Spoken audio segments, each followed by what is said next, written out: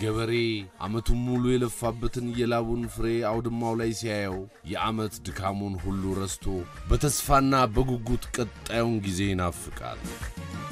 እህሉ ተሰብስቦ ከጎታ ከገባ በኋላ በነቀዝና በተለያዩ ተባዮች ቢጠፋ አይ የዛኔ ነው የገበሬው ድካም ከንቱ የሚሆነው። አይዞህ ገበሬ ፍጹም አትስጋ። ከማንኛውም ኬሚካል ነፃ በሆነ መንገድ እህልን ከነቀዝና ከሌሎች ተባዮች ተከላክሎ ሁለት ዓመትና ከዚያም በላይ የሚያገለግል ጠንካራ የፒክስ ከረጢት መጥቶልሃል። ሆ ብለህ አርሰህ እህልህም በፒክስ ከረጢት ሸክፈህ ከኬሚካል ነፃ የሆነ እህል ቢያሻህ ልጆችህም መግባቸው፣ ቢያሻህም በተሻለ ዋጋ ገበያ አውጥተህ ሽጥ።